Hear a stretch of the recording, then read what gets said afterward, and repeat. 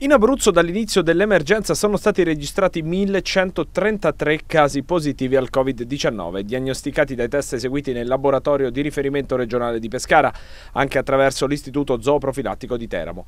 Rispetto a ieri dunque si registra un aumento di 116 nuovi casi.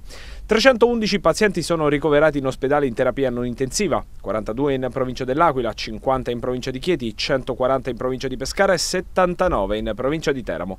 70 invece sono in terapia intensiva intensiva, 13 in provincia dell'Aquila, 12 in provincia di Chieti, 33 in provincia di Pescara e 12 in provincia di Teramo, mentre gli altri 646 sono in isolamento domiciliare con sorveglianza attiva da parte delle ASL. Nel numero dei casi positivi sono compresi anche 76 pazienti deceduti. I nuovi decessi riguardano un sessantenne di Roseto degli Abruzzi, un 71enne di Teramo, un 81enne di Pescara, una 82enne di Pianella, un 68enne di Casalbordino, una 90enne di Francavilla al Mare, un 78enne di Pretoro e una 64enne di Castiglione Messer Raimondo, già deceduta nei giorni scorsi, e il cui tampone positivo è arrivato oggi.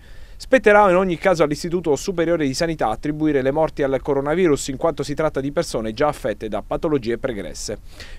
23 sono i pazienti clinicamente guariti che da sintomatici con manifestazioni cliniche associate al Covid-19 sono diventati asintomatici e 7 i guariti, che hanno cioè risolto i sintomi dell'infezione e sono risultati negativi in due test consecutivi.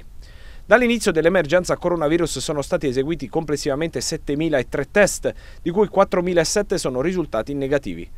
La differenza tra il numero di test eseguiti e gli esiti è legato al fatto che più test vengono eseguiti sullo stesso paziente. Nel totale viene considerato anche il numero degli esami presi in carico e tuttora in corso.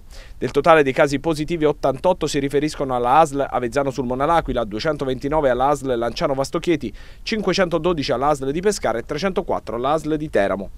Dei 116 casi positivi al Covid-19 registrati oggi, 13 fanno riferimento all'ASL Avezzano sul Monal'Aquila, 40 all'ASL Lanciano Vastochieti, 36 all'ASL di Pescara e un 27 all'ASL di Teramo.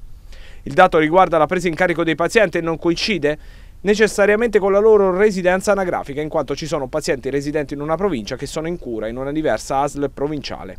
Inoltre, per ragioni cliniche, ci sono pazienti che sono stati trasferiti da un ospedale all'altro, anche in presidi di ASL differenti.